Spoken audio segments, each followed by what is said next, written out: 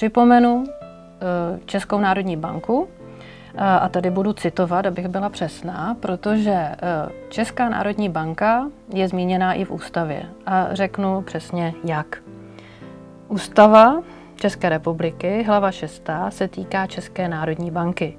V článku 98 se píše v bodě 1 toto.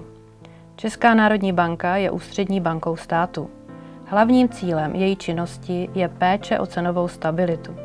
Do její činnosti lze zasahovat pouze na základě zákona. Jak je tedy možné, že Česká národní banka má na svých oficiálních webových stránkách zmíněno, že inflační cíl už od roku 2010 jsou 2%. Mm, připadá mi, že to není to, co říká ústava. Česká národní banka na svých stránkách teda k téhle větě má na vysvětlenou, že se opírá o praxi centrálních bank ve vyspělých ekonomikách. Dobře, takže e, praxe bank v jiných zemích je důležitější než dodržování naší ústavy. Nebo jak tomu mám rozumět? Když se bavíme o inflaci, eh, bylo by dobré si třeba ukázat eh, příklad toho její dopadu na, na mzdách. Eh, v roce 1990 průměrná mzda v naší republice byla 3300 korun. Kdo si to pamatujete, možná si řeknete, teď to byla krásná mzda ve srovnání s tím, co bylo roky předtím. A jaká je tam mzda ve srovnání s aktuální průměrnou mzdou? Za minulý rok eh, ta průměrná mzda byla přes 42 tisíc. Takže na první pohled si můžeme říct úžasný nárůst. To číslo je prostě nesrovnatelně vyšší. Ale tady, stejně jako i v jiných oblastech, prostě platí, že musíme ty věci vidět v souvislostech. No a my si dneska povídáme o inflaci, takže jaký dopad eh, má inflace na, na růst mest? Eh, zkusíme teda to číslo přes 42 tisíc za poslední rok eh, očistit o inflaci. Eh, říkala jsem, že inflace jenom v těch 90. letech způsobila pokles reálné hodnoty peněz na zhruba čtvrtinu hm, jejich předrevoluční hodnoty. No a když vezmeme průměr za těch, nebo ne průměr, když prostě vezmeme celkový dopad inflace za těch 35 let, tak se dostáváme k tomu, že hodnota peněz předrevolučního období poklesla na 13% Když na tu nominální hodnotu průměrné mzdy eh, promítneme dopad inflace a dostaneme se k reálné hodnotě mzdy, tak zjistíme, že v současné době měřeno cenovou hladinou roku 1990 máme průměrnou mzdu v ekonomice 5500 korun. Tak, a to už vypadá úplně jinak. Čili rozhodně tady máme nárůst, rozhodně jsme si polepšili, ale polepšili jsme tak, jak jsme to v těch 90. letech čekali.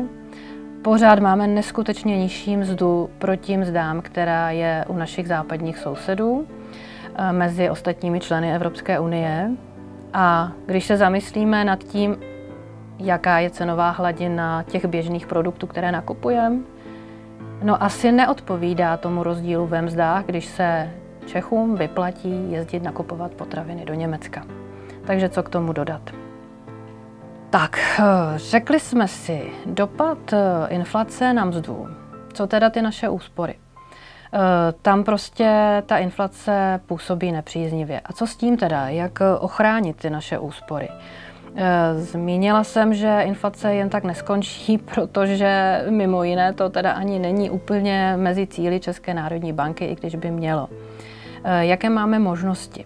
Eh, tak určitě teda už víme z předchozího povídání, že eh, prostě peníze nás před inflací neochrání, protože my vlastně ani nemáme peníze, my máme měnu, máme fiat měnu a bohužel její vlastností díky inflaci je, že neuchovává hodnotu. Inflace tedy znamená pokles hodnoty měny a nejen, že jsou důvody, proč, proč bude pokračovat, ale vlastně Česká národní banka ani nemá úplně v úmyslu ji zrušit. Má to tedy dopad. Jaký? Eh, má to tedy dopad především na drobné středatele. Ničí to výsledky předchozí práce.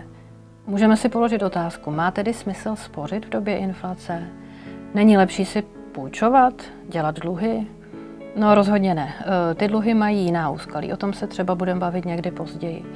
Eh, tvořit si rezervy je nutné. Naše příjmy a výdaje prostě někdy z principu nemůžou být eh, v každém období vyrovnané. Je důležité si odkládat, protože zcela jistě víme, že v budoucnu výdaje mít budeme. Ale rozhodně nemůžeme s jistotou tvrdit, že budeme mít taky ty příjmy. Takže rezervy rozhodně ano, bez debaty. A teď jaké rezervy? Je potřeba ty rezervy tvořit v něčem, co uchovává hodnotu. Je tady určitě u nás v republice spoustu zastánců, kteří říkají investovat do nemovitosti. No ale kdo z drobných stradatelů má miliony, aby si koupil nemovitost? Eh, nehledě na to, i když bych ty miliony měla a nemovitost si koupila a ocitnu se v budoucnu situaci, kdy budu část těch rezerv potřebovat, tak co udělám?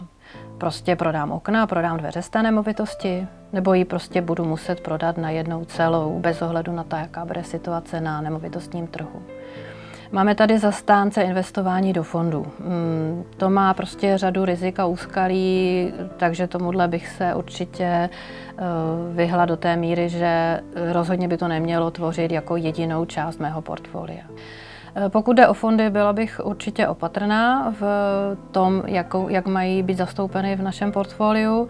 Jedním z důvodů je rizikovost fondů jako obecně, jako investičního nástroje a druhým z důvodů je něco, co jsem prostě už zmínila, to je můj osobní postoj, proč mám prostě svýma úsporama přispívat eh, vytváření toho systému, který tady máme, čili dávat své úspory k dispozici někomu, kdo pak nekoná v mém zájmu. Uh, tak, ale pojďme ještě k další možnosti, kterou máme z hlediska investic, a to je bez pochyby zlato. Zlato patří do našich portfolií, patří do portfolia velkých i malých středatelů bez ohledu na to, jaká je zrovna ekonomická situace. A ve chvíli, kdy tušíme, že se blíží ekonomická krize nebo je před námi turbulentní doba, tak tam to zlato patří dvojnásob. A jaké máme možnosti uh, spořit ve zlatě, uh, přeměnit své rezervy, které už teď máme do zlata? Určitě je s tím spojeno více možností a určitě se v tom mnoho lidí nevyzná, takže o tom si povíme v některém z našich dalších rozhovorů.